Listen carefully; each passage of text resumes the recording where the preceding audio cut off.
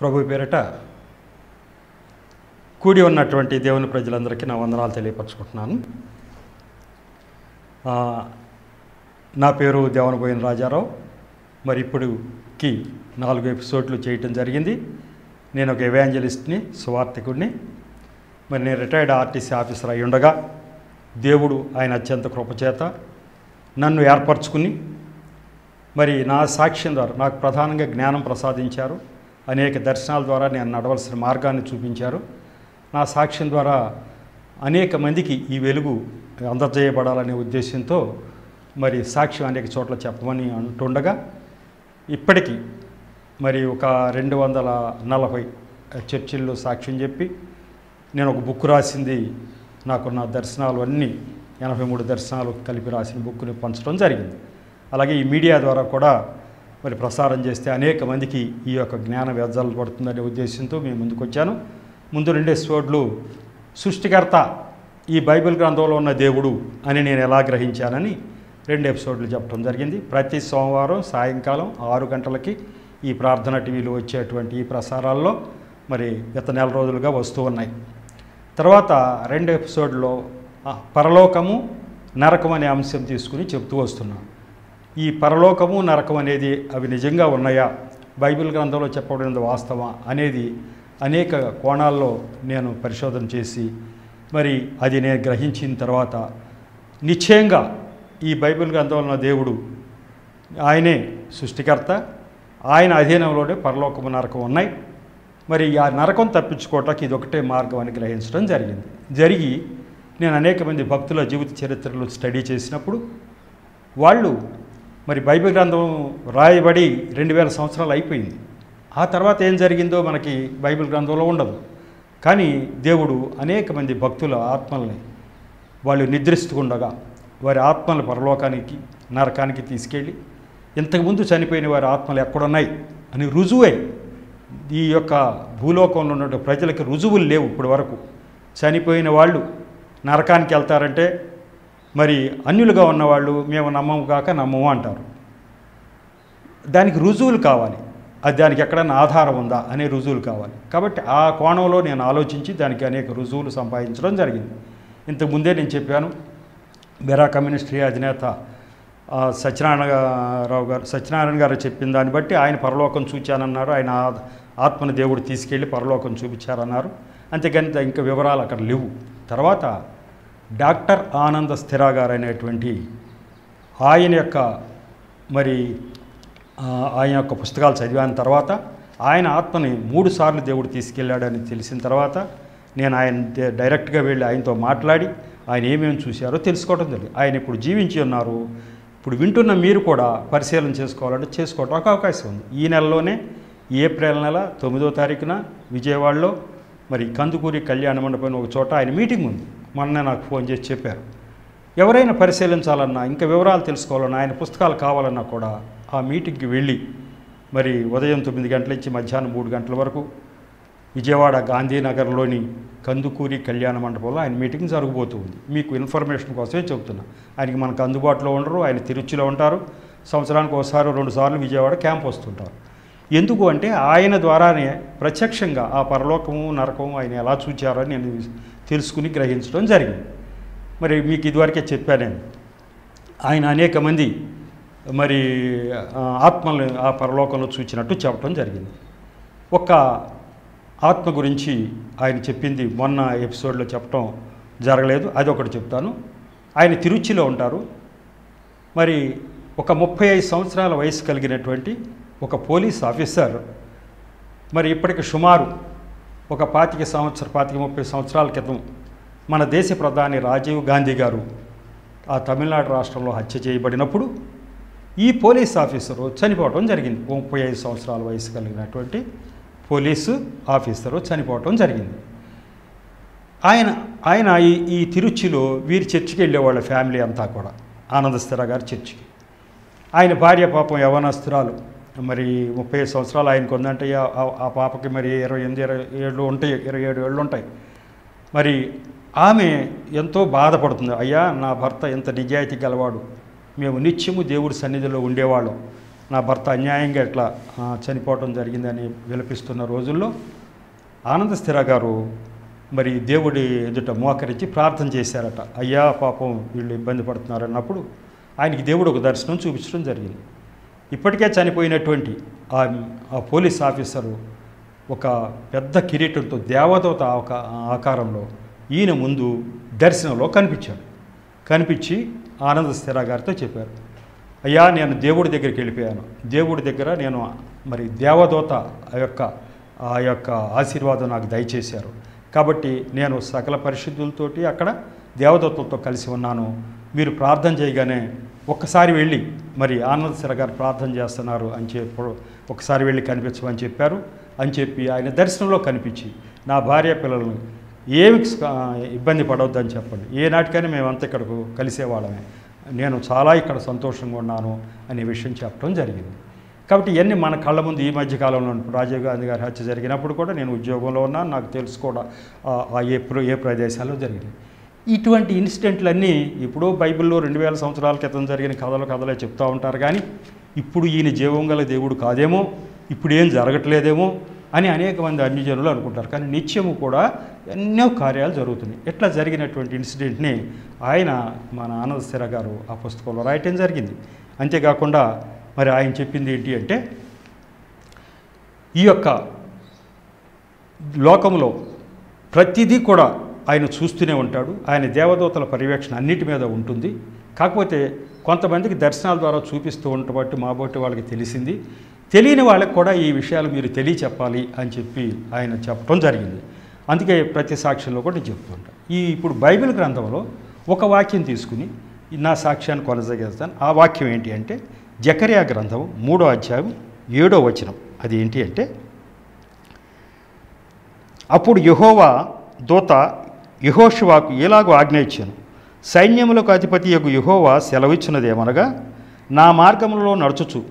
నేను నీకు అప్పగించిన దానిని భద్రముగా గైకునే ఎడలా నీవు నా మందిరం మీద అధికారివై నా ఆవరణములను కాపాడువాడు వగుదువు మరియు ఇక్కడ నిలువబడు వారికి కలిగినట్లు నా సన్నిధిని నిలుచు భాగ్యము నీకిత్తును. ఈ మాట చెప్పారు. ఆయన సన్నిధిని నిలిచే భాగ్యము నీకిత్తునని యహోషువ అనేటువంటి ప్రధాన యాజకుడికి దేవుడు దర్శనంలో ఒక దూత ద్వారా చెప్పాడు. ఆ దర్శనంలో ఏంటి అంటే నీవు అన్నీ బాగానే చేస్తున్నావు. ఇంకా చిన్న చిన్న లోపాలు ఉన్నాయి అవన్నీ సరి చేసుకో. ఇంకా నువ్వు నమ్మకంగా పనిచేసినట్లయితే నువ్వు చనిపోయిన తర్వాత నా ఎదుట నిలబడే భాగ్యం నీకు కలగజేస్తాను అని అంటాడు. అంటే పరలోకం నువ్వు వస్తావు అంటాడు. అంటే పరలోకం రావటం అనేది అంత ఈజీ కాదు. ఎవరు పడితే వాళ్ళు వెళ్ళిపోరు. మనం నిందారహితంగా ఈ లోకంలో ఉండగా పరిశుద్ధులుగా మనం బ్రతికినట్లయితే మనం చనిపోయిన తర్వాత ఆయన ఎదుట ఉండే ఆ భాగ్యం ఇప్పుడు మనం చెప్పుకున్నాం పోలీస్ ఆఫీసర్ ఒక ఆయన చనిపోయిన తర్వాత ఎక్కడున్నాడు? ఆయన దగ్గర దేవదూతలాగా ఉన్నాడు. ఇది వాస్తవమే అని రుజువు. ఇక్కడ రాసింది ఏనాడో రాయబల్ బైబిల్ గ్రంథంలో రాయవలసిన మాట రాసిన మాట నిజమే. ఇక్కడ చనిపోయిన ఆయన అక్కడికి వెళ్ళాడు అక్కడున్నాడు అని చెప్పి మనం గ్రహించడానికి వీలవుతుంది.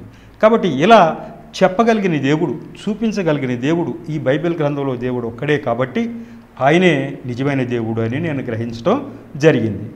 అంతేకాకుండా మరి ఆనంద స్థిర గారి దర్శనాల ప్రకారం ఆయన ఆయన పేరు మీద అక్కడ ఒక గృహం నిర్మాణం అవుతూ ఉన్నట్టు దాన్ని చూపించినట్లు నీవు ఇంకా అనేక ఆత్మల్ని నీవు ఇంకా రక్షించిన తర్వాత ఈ గృహంలోకి నువ్వు వస్తావని చెప్పినట్లు జరిగింది.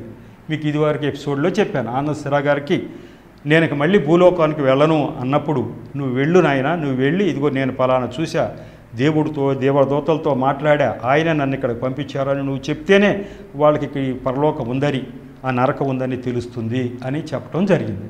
కాబట్టి ఆయన ఇక్కడికి వచ్చిన తర్వాత ఆ- ఆ యొక్క దర్శనాల్లో ఎవరెవరు చూసింది చెప్పడం జరిగింది. కాబట్టి డాక్టర్ ఆనంద సిరా గారి తర్వాత నేను చెప్పింది ఏంటి అంటే ఇంకొక డిజిఎస్ దినకర్ అని ఒక దైవజనుడు. ఆయన కూడా తమిళనాడు రాష్ట్రంలోనే సేవ చేశారు. మరి ఇప్పటికీ ఇరవై నాలుగు సంవత్సరాల క్రితం వరకు ఉన్నారు ఆయన. పద్నాలుగు సంవత్సరాల క్రితం అనుకుంటున్నా. రెండు వేల ఎనిమిదిలో ఆయన చనిపోయారు. ఇప్పటికి పద్నాలుగు సంవత్సరాల క్రితం వరకు డీజీఎస్ దినకరన్ గారు ఉన్నారు. కాబట్టి ఆ డీజీఎస్ దినకరన్ గారి గురించి కూడా మీకు చెప్తూ మీకు చెప్పా. ఒక ఆయన ఆయన దగ్గర పని ఆయన దగ్గర ఉన్నటువంటి ఒక సేవకుడు. జబరాజ్ అనేటువంటి సేవకుడు భార్య చనిపోతే ఆమె పరలోకంలో ఉండటం. ఈయన ప్రార్థన చేసినప్పుడు మరి ఆమె ఆమె యొక్క ఆత్మ ఈయన ఎదురుగా రావ రావటం. ఆమె ఏమైతే చెప్పిందో అవన్నీ ఆయన భర్తతో చెప్పటం అవన్నీ వాస్తవాలను తెలియటం ద్వారా ఇక్కడ చనిపోయిన వ్యక్తులు పరలోకంలో దేవుని సన్నిధిని ఉన్నారు అని రుజువు. ఇది ఒక రుజువు అది చెప్పడం జరిగింది. మరి అట్లా ఇంకొకటి మరి గ్లాడిన్ ఈశ్వర్ రాజ్ అనేటువంటి ఆయన ఆ డీజేఎస్ తిలకరణ్ గారి సమయంలోనే ఒక యువకుడు మరి సేవ చేస్తూ ఉద్యోగానికి రాజీనామా చేసి ఒక మిషనరీగా ఉత్తర భారతదేశానికి వెళ్ళి అక్కడ సేవ చేస్తూ అనేక కష్టాలు పడి మరి అక్కడే హతసాక్షి కాలేదు కానీ శ్రమలు బాగా అనుభవించి అక్కడే మరి సజీవ యాగంగా ఆయన చనిపోయినట్టుగా తెలిసింది. ఆయన ఆత్మని దేవుడు ఈ డీజేఎస్ దినకరణ్ గారికి ఈయన పరలోకం వెళ్ళినప్పుడు చూపించడం జరిగింది. వీళ్ళిద్దరూ మాట్లాడుకోవటం జరిగింది. ఆ యొక్క గ్లాడిన్ ఈశ్వర్ రాజ్ అన్న ఆయన్ని మరి ప్రశ్నించి ఏమండి మీరు ఇలా సేవకాన్ని ఉత్తర భారతదేశానికి వెళ్ళారు.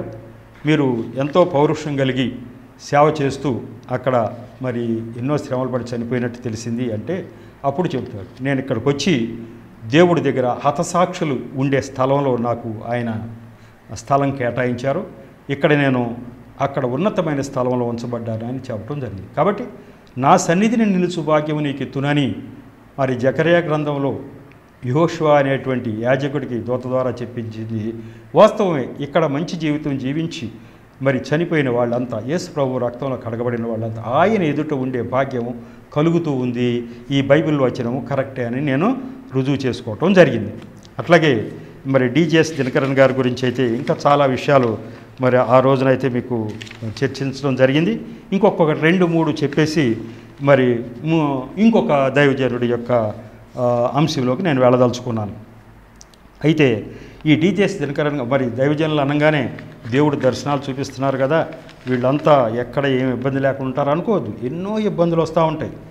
మరి ఈ డీజేఎస్ దినకరన్ గారు అయితే రో మరి మూత్రపిండాల వ్యాధితోటి మంచాన్ని పడిపోయి ఉన్న రోజుల్లో హాస్పిటల్లో ఉన్న రోజుల్లో మరి ఆయన ఇంకా లేవుస్తాడా లేవడాడా అనుకున్న రోజుల్లో దేవుడు ఆయనకు ఒక దర్శనం చూపించి నీవు పలానా తారీఖు కల్లా హాస్పిటల్ నుంచి డిశ్చార్జ్ అవుతావు అని చెప్పి దేవదూత చెప్పడం జరిగింది. అనూహ్యంగా డాక్టర్లు ఊహించిన విధంగా ఆ వ్యాధి అట్లా నయం అవటం ఆ తారీఖునైనా మరి విడుదల అవటం కూడా జరిగింది. కాబట్టి ఆయన ఆ విషయం చెప్తూ వచ్చి- వచ్చారు.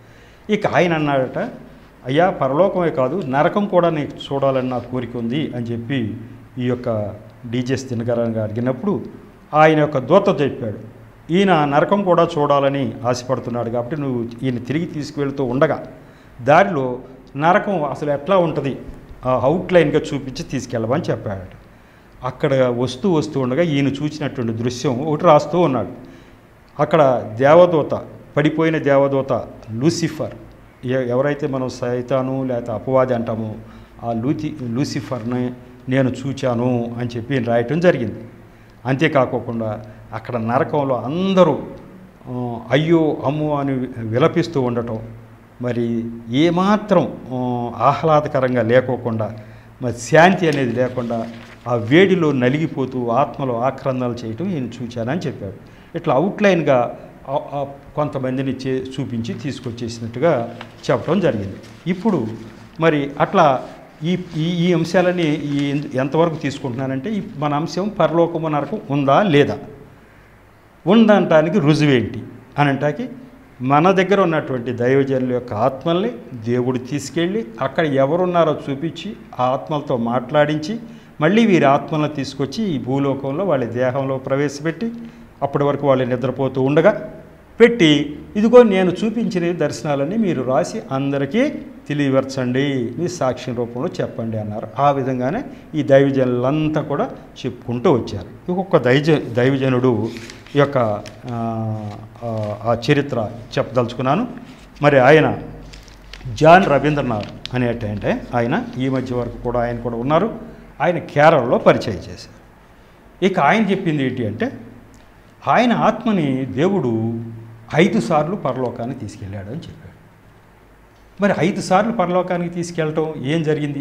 నేనైతే డైరెక్ట్గా ఆయన దగ్గరికి వెళ్ళి మాట్లాడలేదు కానీ ఆయన పుస్తకం ద్వారా నేనైతే డాక్టర్ ఆనందశ్రా గారితో మాట్లాడే విషయాలు తెలుసుకున్నా కానీ మరి ఈ కేరళలో ఉండేటువంటి జాన్ రవీంద్రనాథ్ గారి యొక్క సాక్ష్యం అంతా చదివితే ఆయన ఐదు సార్లు పరలోకం తీసుకెళ్ళాడు అని చెప్తున్నారు ఆయన యొక్క పుస్తకంలో నేను చదివింది ఏంటి అంటే ఆయన పుస్తకం పరలోకము మరియు నరకం అనేది ఆయన పుస్తకం. ఆయన పంతొమ్మిది వందల అరవై మూడులో మొట్టమొదటి కూడా పరలోకంకి ఈయన ఆత్మను తీసుకెళ్ళి అరవై మూడు అంటే నాకు అప్పటికి పదకొండు సంవత్సరాల వయసు నేను పంతొమ్మిది వందల యాభై రెండులో పుట్టా. నాకు అప్పటికి పదకొండు సంవత్సరం నా వయసు పదకొండు సంవత్సరాలు అప్పుడు ఆయన్ని దేవుడు తీసుకెళ్ళాడు. అంటే ఆయనకు అప్పుడు ఇరవై ముప్పై సంవత్సరాలు ఉంటాయి. ఈ మధ్య వరకు కూడా ఆయన రవీంద్రనాథ్ గారు జీవించే ఉన్నారట. అయితే ఆయన మరి అంటే ఈ మధ్య కాలంలో అని చెప్పడానికి ఇదంతా చెప్తున్నాను పంతొమ్మిది వందల అరవై మూడులో మొట్టమొదటి కూడా దేవుడు ఆయన ఆత్మను తీసుకెళ్ళడం జరిగింది. ఈయన ఏం కోరుకున్నాడంటే అయ్యా ఆత్మను తీసుకెళ్ళాడు. ఎందుకు తీసుకెళ్ళాడు అని అంటే దేవుడి దగ్గర ప్రార్థన చేస్తూ అయ్యా ఆ పరలోకం ఎట్లా ఉంటుందో నరకం ఎట్లా ఉంటుందో చూడాలి చూడాలి అని కోరిక పడుతున్నాడు ఒక దేవదూతను పంపించి ఈయన ఆత్మను తీసుకెళ్ళాడు.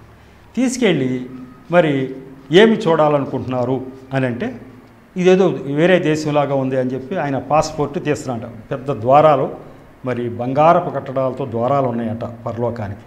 ఆ బయట ఆపేశారు. ఆపేసిన తర్వాత ఇట్లా నేను భూలోకం నుంచి వచ్చాను అన్నప్పుడు లోపలికి వెళ్ళాలంటే డౌట్ వచ్చి పాస్పోర్ట్ తీస్తున్నాడు ఇది మీ ప్రపంచంలో ఉన్న వేరే దేశం కాదు ఇది. దేవుడు లోకానికి వచ్చారు మీరు. మీ పాస్పోర్ట్లు మాకు అవసరం లేదు. మీకున్న అర్హత ఏంటి? మీరు ఏం చూడాలో ఒక బుక్లో రాయమని రాయిస్తారు ఆయనతో నేను దేవుణ్ణి చూడాలి అని చెప్పి రాశాడు. రాస్తే అప్పుడు చెప్పిందంటే అయ్యా మీకు ఇంకా ఆ సమయం రాలా.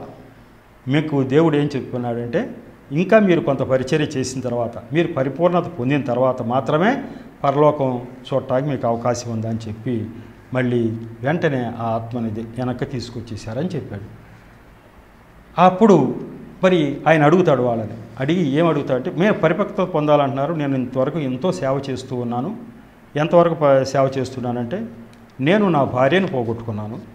అలాగే నా తల్లిదండ్రులు ఈ లోకంలో ఉన్న సుఖాలన్నీ త్యజించి ఒక అనాథలాగా నేను బ్రతుకుతున్నాను దేవుడి సేవ చేస్తున్నాను. అనేక చోట్లకి వెళ్ళి దేవుడి సువార్త ప్రకటిస్తూ ఉన్నాను. ఇంతకంటే పరిపూర్ణత నేనేం సాధించాలి దేవుడి దగ్గరికి వెళ్ళాలి? అంటే ఆయన ఒకటే చెప్పారు మీరు మీ సమయం రావాలండి. మీరు ఇంకొంత పరిచర్య చేయాలి. అని చెప్పి చెప్పడం జరిగింది. ఇక ఆ తర్వాత మళ్ళీ ప్రార్థన చేసినప్పుడు ఒక దేవదూత ఆయన్ని తీసుకుని పరలోకానికి తీసుకెళ్ళటం జరిగింది. అప్పుడు కూడా దేవుడి దగ్గరికి డైరెక్ట్గా వెళ్ళటానికి మెయిన్ ద్వారం అయితే దాటి లోపలికి వెళ్ళాడు కానీ దేవుణ్ణి చూడటానికి అవకాశం దొరకల. వాళ్ళు చెప్పింది ఏంటంటే ఏమండి మీ మీ ఆత్మని మేము ఇప్పుడు రాత్రి పన్నెండు గంటల ఆ ప్రాంతంలో తీసుకొచ్చాం. ఒక ఐదు గంటలు మీకు ఇక్కడున్న పరలోకంలో ఉన్న వేరే వేరే ప్రదేశాలన్నీ చూపించమన్నారు దేవుడు అని చెప్పాడట. ఏం ప్రదేశాలు చూపించమన్నారు ఆయన చూపించాలి అంటే ఇక్కడున్న ప్రదేశాల్లో మొట్టమొదటిగా ఆయన చూపించింది ఏంటంటే మంచి సంగీతం వినిపించేటువంటి పెద్ద మరి ఒక హాల్ లాంటి మందిర మందిరం ఉందంట. సుమధురమైన సంగీతం వస్తుందట అక్కడ. ఆ సంగీతం హాల్లోకి తీసుకెళ్ళి రవీంద్రనాథ్ గారు మీరు ఒక పాట పాడండి అన్నారట. అయ్యో నేను ఇక్కడ పాటలు పాడగలను? ఈ వాయిద్యాలు మరి నేను వాయించడం నాకు కొత్త కదా అంటే మీకు దేవుడి సహాయం ఉంటుంది అని చెప్పి అన్నప్పుడు వాయిద్యాలు ముచ్చు ముట్టుకున్న తర్వాత ఆయనకి నేర్పడతానో అదే వచ్చింది. ఇంగ్లీష్లో పాటలు పాడటం మొదలుపెట్టి ఒక అరగంట సమయం దేవుడిని అక్కడ స్థుతించాను అని చెప్పి రాశాడు. ఆ తర్వాత ఇంకో ప్లేస్కి తీసుకెళ్ళి అక్కడ అనేకమైనటువంటి పెద్ద పెద్ద బంగారపు పాత్రలు గిన్నెలు ఉన్నాయట. ఒక గిన్నె చూపించి ఆ యొక్క బంగారపు గిన్నెని ఈ గిన్నెని మీరు ఎత్తండి అన్నారు. ఆ ఎంత పెద్ద గిన్నె అంటే ఈయన ఎత్తలేకపోయాడట. ఈ గిన్నెని ఎత్తలేకపోయాడట. మరి అప్పుడు చెప్పింది ఏమవుతుంట ఆ గిన్నె మీదే. ఒక్కొక్క మనిషికి ఇక్కడ ఒక్కొక్క గిన్నె మీరు చేసిన సేవ పరిమాణం. మీరు ఎంత సేవ చేశారంటే మీరు ఎత్తలేకపోయినంత బరువు గల బంగారు పాత్ర మీ పేరు పేరు చూసుకోండి మీది అక్కడ దాని మీద అంటే పేరుంది ఒక్కొక్క గిన్నె మీద ఒక్కొక్క పరిశుద్ధుడు. ఇక్కడ భూలోకంలో సేవ చేస్తున్నటువంటి వారి పేర్లు అక్కడ ఉన్నాయి. వీరు సేవ ఈ సే- ఎంత సేవ చేస్తే అంత ఉన్నతమైనటువంటి ఆ యొక్క గిన్నెలు వారికి తయారవుతూ ఉంటాయి. కాబట్టి ఇది నీదే అని చెప్పడం జరిగిందట. మరి మీరు ఇప్పుడు వరకు అన్నారు ఎంతో సేవ చేశారన్నారు మీరు సేవ చేసింది మొత్తం దేవుడి దృష్టిలోకి వచ్చింది. అందుకే మీకు ఇంత ఉన్నతమైనటువంటిది జరిగింది. ఆ తర్వాత ఒక పెద్ద ఇంకో చోట తీసుకెళ్ళి ఒక పెద్ద భవనం చూపించారు. ఆ భవనం భవనం అయితే ఇటుకలు సున్నము రాయి అట్లా ఏమి లేదట కానీ లోహాలతోటి లోహాలతోటి వజ్రవైడూర్యాలతో కట్టబడి ఉందట. అది చూస్తూనే అమ్మో ఈ యొక్క భవనంలోకి నేను ఎట్లా ఎంటర్ అవ్వాలి అనుకుంటున్నాడు.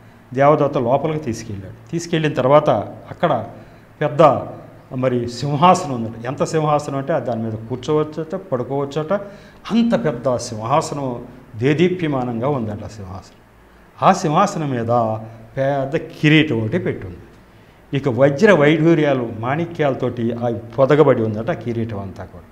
ముందు భాగం అంతా చూపించాడు దేవదూత. మళ్ళీ ఆ సింహాసనం వెనక పక్కకి తీసుకెళ్ళి ఆ కిరీటాన్ని చూపిస్తే కిరీటము కొంత భాగము ఈ వజ్ర వైఢూర్యాలతోటి పొదగబడల ఖాళీగా ఉంది. అప్పుడు చెబుతాడు నీవు సేవ చేసినంత మేరకు నీ యొక్క ఇదంతా ఈ కిరీటం ఎవరిది? నీది. ఈ భవనం ఎవరిది? నీకు. దేవుడు ఏర్పాటు చేశాడు. మరి యోహాన్ స్వార్త పద్నాలుగో అధ్యాయంలో దేవుడు చెప్పినట్టు మన అందరికీ అక్కడ నివాసాలు మరి తయారవుతాయి అని చెప్పారట్లు నీకు నివాసం ఇక్కడ తయారైంది. అయితే ఈ కిరీటం కూడా నీ మీద అలంకరించటాకే అవుతుంది. నీవు ఇక్కడ సేవ చేసిన కొలది అక్కడ వైద్య వైఢూర్యాలతోటి దాన్ని నింపటం జరుగుతూ ఉంటుంది. కాబట్టి ఈ వెనక భాగ ఖాళీగా ఉన్నది ఇంకా నీవు చేయవలసిన పని. ఇదివరకు మీరు వచ్చినప్పుడు అన్నారు కదా ఇంకా నేనేం చేయాలి ఇంత త్యాగం చేశాను అని మీ అని అన్నారు కదా ఇంకా మీరు ఎంత చేస్తే అంత ఇక్కడ మీకు ఆ బహుమానం ఇవ్వబడుతుంది. మీ కిరీటానికి అది అయ్యేంత వరకు మీకు ఆయుష్ దేవుడు ఇస్తాడు మీరు అది ఆ పరిచర్య చేయవలసి ఉంటుంది అని చెప్పటం అయితే జరిగిందట. కాబట్టి ఇంకా నిర్దిష్టమైన ఆత్మల సంఖ్యను ఇంకా మీరు పూర్తి చేయాలి. మీరు ఎట్టి కొలతతో కొలుస్తారో మరి మీకు అట్టి కొలతతోనే ఇవ్వబడుతుందని మార్కు శివార్త నాలుగు ఇరవై నాలుగు చెప్పబడి ఉన్నది కదా? అలాగే మీరు ఎంత సేవ చేస్తారో అంత మీకు ఇవ్వబడుతుంది. ఈ దేవుడు న్యాయవంతుడు. మీ మీరు నేను ఎంత సేవ చేశాను అన్నారు కదా? ఎంత సేవ చేస్తే అంత ఇక్కడ మీకు ఇవ్వబడుతుంటుంది అని ఆయనకి చెప్పడం జరిగిందట. ఇక ఆ తర్వాత మరి ఇంకొక ప్లేస్కి ఆయన తీసుకెళ్ళటం జరిగింది. అక్కడికి వెళ్తే ఒక చోట మరి పరలోక సంగీతం వినిపిస్తూ ఉందట. ఎంతో మాధుర్యమైనటువంటి పరలోక సంగీతం అక్కడ వినిపిస్తూ ఉంటుంది ఇంకా ఆ ఆ సంగీతం విన్- లో అక్కడ ఉన్న మనుషులందరూ చూస్తే పరిశుద్ధులు హతసాక్షులు ప్రవక్తలు దూతలు ప్రధాన దూతలు ఇరవై నలుగురు పెద్దలు అందరూ కలిసి యేసుక్రీస్తు వారు వస్తున్నారని ఎదురు చూస్తూ ఉన్నారట. అప్పుడు మరి యేసు ప్రభు వారు వస్తున్నారట. ఇప్పుడైనా యేసు ప్రభు వారితో నేను మాట్లాడవచ్చా అని దూతను అడిగితే నీవు మాట్లాడటానికి వీలు అవ్వదు బాబు ఇప్పుడు ప్రభు వస్తున్నారు. మరి ఇది పరిశుద్ధుల సంఘము. ఈ పరిశుద్ధుల సంఘం సమావేశంలో ప్రభు వారు వస్తున్నారు. కాబట్టి ఆయనకి ఆహ్వానం పలుకుతూ వీళ్ళందరూ ఉన్నారని చూపించడం జరిగిందంట. హిబ్రీ పత్రిక పన్నెండో అధ్యాయం మరి ఇరవై రెండు ఇరవై మూడు వచనాల్లో ఈ యొక్క పరలోకంలో జ్యేష్ఠుల సంఘం ఉందని రాశారు. ఇది జ్యేష్ఠుల సంఘం అనేది అంటే ఏంటంటే ఇక్కడి నుంచి వెళ్ళినటువంటి పరిశుద్ధులు దేవదూతలు ఇరవై నదులు పెద్ద వీళ్ళందరూ కూడా ఒక సంఘంగా కూడి ఉంటారట.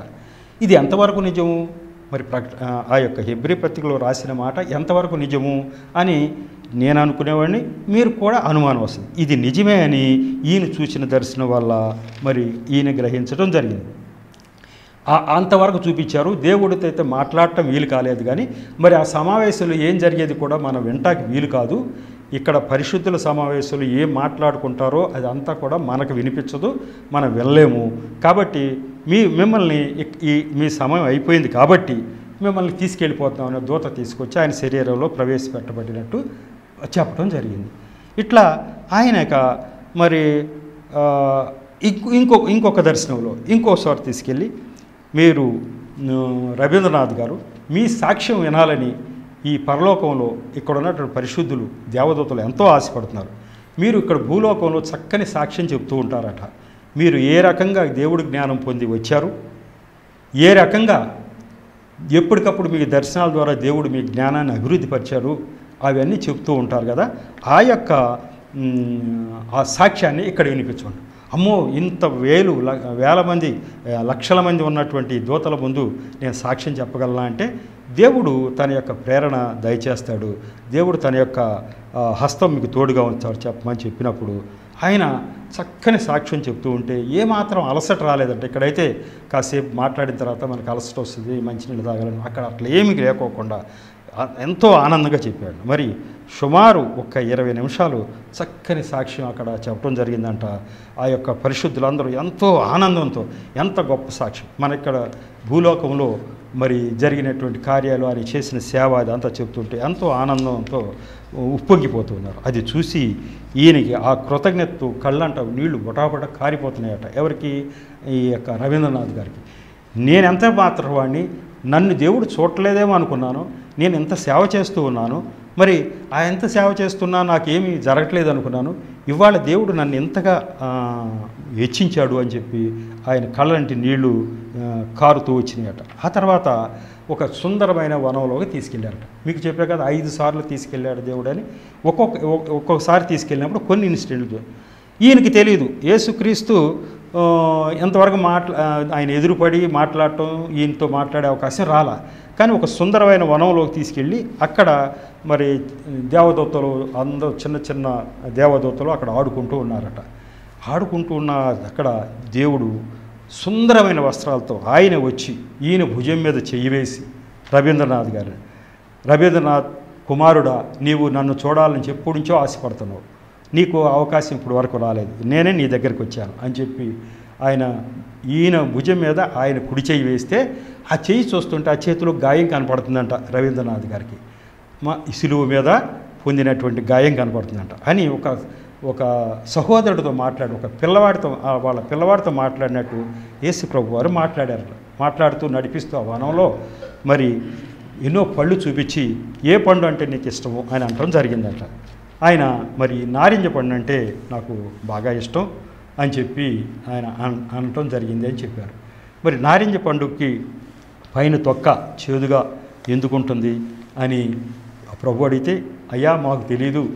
అని అంటే నేనే దానికి పైన చేదు ఉండేటట్టు లోపల మరి మధురంగా ఉండేట్టు చేసే. ఎందుకంటే అది పశుపక్షాతుల చేత అది పాడు చేయబడకుండా ఉండాలని లోపల ఉన్నటువంటి మ్యాటరు సరిగా ఉండాలనే ఉద్దేశంతో నేను దాన్ని అలా చేశాను. అంటే సృష్టికర్త ఆయనే అంటాక ఇవన్నీ రుజువులు.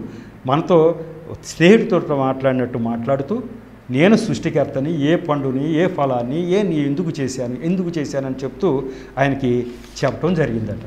మరి ఇట్లా చెప్పుకుంటూ పోతే మీకు ఎంత విస్తృతంగా ఎందుకు చెప్తున్నానంటే ఈ గ్రంథాల్లో ఉన్నదంతా నేను కూలంకషంగా చదివాను. నేను చదివిన తర్వాత నా జ్ఞానం అభివృద్ధి అయింది. ఈ జ్ఞానమే అందరికీ కావాలి. క్రైస్తవులకి కావాలి మరి ప్రభుని ఎరగని వారికి కూడా కావాలి అనే ఉద్దేశంతో మీ ముందుకు తీసుకొస్తున్నాను. దీంతో మీరు నింపబడి ఎవరైనా అడిగినప్పుడు సమాధానం చెప్పడం ఎట్లా మాట్లాడే దేవుడు? మన కళ్ళ ముందు ఇంకెక్కడన్నా ఉన్నాడా? కాబట్టి ఈయన సజీవుడు ఆయనే దేవుడు ఆయనే సృష్టికర్త అని చెప్పడానికి వీలవుతుంది. మరి యొక్క ఎపిసోడ్లోకి వచ్చిన తర్వాత ఇంకా కొన్ని అంశాలు రవీంద్రనాథ్ గారు నరకం కూడా చూశారు చూపించారు దేవుడు. ఆ విషయాలు కూడా వద్దాం. ఆ నరకంలో ఆయన ఏమేమి చూశారు అనే విషయాలు కూడా వద్దాం. మరి ఇప్పటికైతే ఈ యొక్క ఈ యొక్క ఎపిసోడ్లో ఈ స్వర్గం పరలోకం నరకం అనేటువంటి ఎపిసోడ్లో ఇది ఇది ఆ ఈ క్రమంలో ఈ అంశం మీద ఇది మూడవ ఎపిసోడ్ అవుతుంది. మరి దీన్నంతా మీరు భద్రంగా హృదయంలో భద్రపరచుకోండి. ఈ ఇది జరిగిన విషయాలు ఇవి అని చెప్పేసి. మరి ఈ యొక్క మాటల్ని మరి ఈ యొక్క సాక్ష్యాన్ని ఇంతటితో ముగిస్తూ ఉన్నాను. మరి ఈ యొక్క సాక్ష్యాన్ని మాటలను దేవుడు దీవించునుగాక చిన్న ప్రార్థన చేసుకుని ముగించుకుందాం. కృపా సత్య సంపూర్ణ ప్రేమగల తండ్రి. ప్రభు మీకు వందనాలు స్తోత్రాలు చెల్లించుకుంటున్నాను తండ్రి. ప్రభా మీ బిడ్డల ముందు. ప్రభా మీ యొక్క ప్రియులైనటువంటి ప్రభు మీ బిడ్డల ముందు ఈ జ్ఞానాన్ని పెట్టమని నాకు ఆదేశించారు ప్రభు. మీరు అంచెలంచెలుగా ప్రభు గత తొమ్మిది సంవత్సరాలుగా దర్శనాల ద్వారా కానీ ప్రభు స్వరం వినిపించడం ద్వారా కానీ నా జ్ఞానాన్ని అభివృద్ధి పరిచారు కానీ నేను ఏమేమి బుక్స్ చదవాలో ఏది గ్రహింపు గ్రహింపు మరి చేసుకోవాలో మీరే నాకు సూచి సూచించారు ప్రభు అయితే నీవు గ్రహించుకున్నదంతా కూడా నీలో ఉంచుకోవటమే కాదు అనేక మందికి చెప్పమని మీరు ఆదేశించారు ప్రభు. ఆ రీతిగానే ప్రభు నేను నడుస్తుండగా ఈ యొక్క టీవీ ప్రసారాల ద్వారా కూడా అనేక మందికి ఇది అర్థమయ్యేదాకా చెట్టు చెప్పడం ప్రభు మీరు ఆదేశించబట్టి నేను చేస్తూ ఉండగా వీటి వినేపట్టి బిడ్డల హృదయాలు కూడా మీరు తెరిచినందుకు వందనాలు స్తోత్రాలు తండ్రి. గ్రహింపును కూడా దయచేశారు. మీ యొక్క ప్రభు మాటల ద్వారా అనేక మందికి ఈ వెలుగు ప్రసరించలాగున ఈ ఉప్పు అనేక మందికి అందులాగన మీరు సహాయం చేయమని ఇంకనూ ప్రభు రాబోయే ఎపిసోడ్లో కూడా ప్రభు మరి మీరే తగిన నడిపింపించి ప్రభు బిడ్డలకు అవసరమైనటువంటి జ్ఞానాన్ని దయచేయమని మహిమ ఘనత ప్రభావం మీరే పొందుకోమని మా ప్రభువును రక్షకుడు నేస్నామంలో పరమ తండ్రిని ప్రార్థించి వేడుకుంటున్నా తండ్రి. ఆమె వందనాలు.